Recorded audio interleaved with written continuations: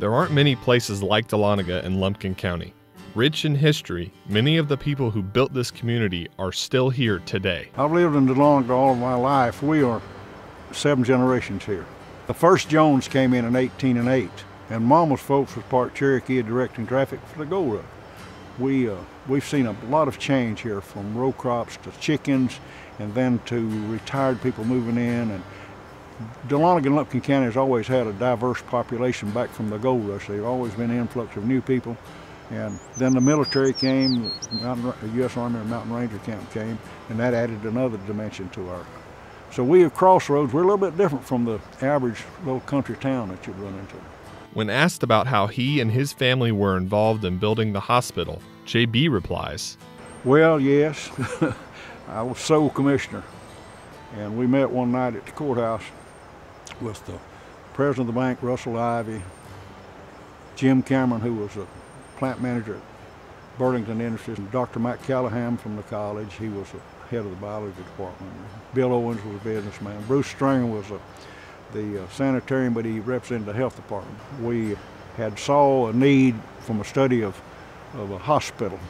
And at that time, we only had two doctors, and they were overworked. You could go to the doctor and sit in the doctor's office all day and wait.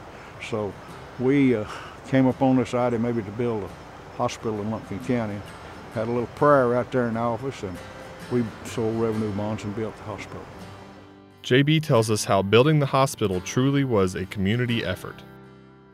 And Bill Owens was a business person. They owned a hatchery and chicken business in town. Plus, he had a twin engine airplane that could fly if we wanted to go somewhere and look at hospital equipment.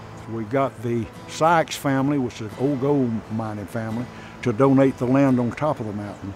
But we discovered that we had to have, what, 10 acres? was a and we didn't have quite 10 acres, so Bill Hardiman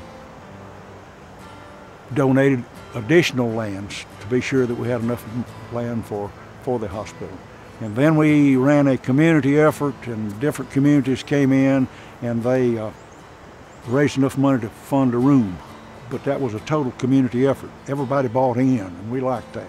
Then we had the big day, and we had the grand opening, and we broke ground started the hospital. So we trying to tie, you follow me, we was trying to tie every, everybody in.